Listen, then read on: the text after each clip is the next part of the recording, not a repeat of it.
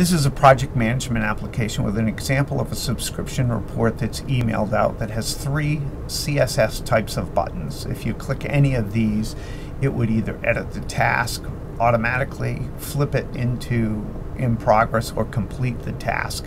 And the intention of this is, is to receive an email similar to like what is here.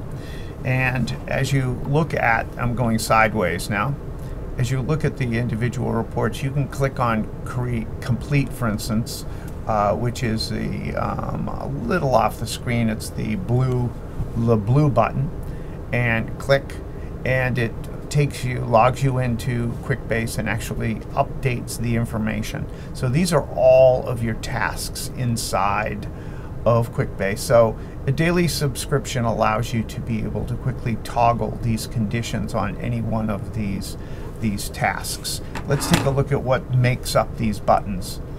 Uh, if I click here and edit the field properties of the edit task one, you can see we've created a CSS button here. This is a formula text field. And let's take a look at the, uh, the code that goes into making that happen.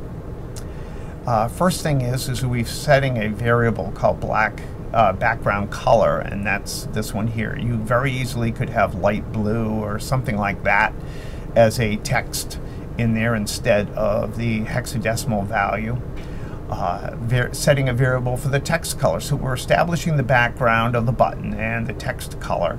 And then we're creating this next section, is, which is puts them all together. You can see we're inserting the background color and we're also inserting the text color into a new compiled uh, link, which is called style.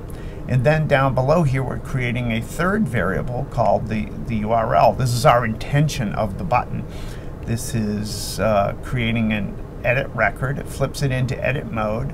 Which record? Where the record ID equals record ID number. And here's the app token that gives us permission to be able to do this and then return back to from where you began. Uh, so here's the, the link. This is a little bit simpler because we're using the style, which is this variable right here. And we're using the URL, which is the one that's defined here, which is this one right here.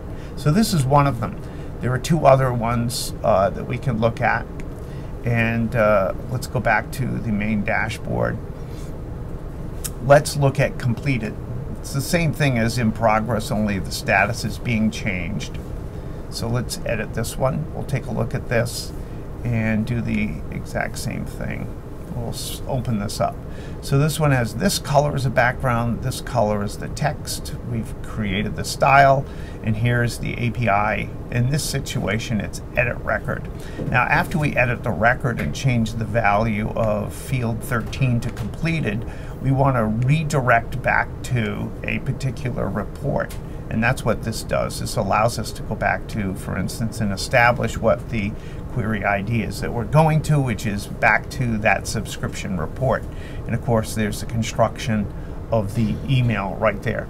So once again, the intention of this is, is so that you can, on a daily basis, for instance, create a subscription report similar to the one that's here, My Daily Tasks, and that this report is sent out every Monday, Tuesday, Wednesday, Thursday, and Friday, and it provides the list of all your tasks.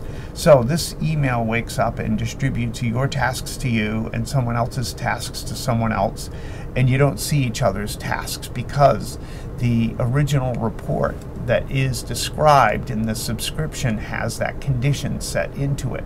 My, my tasks, for instance, and those tasks will only give you those that are assigned to you.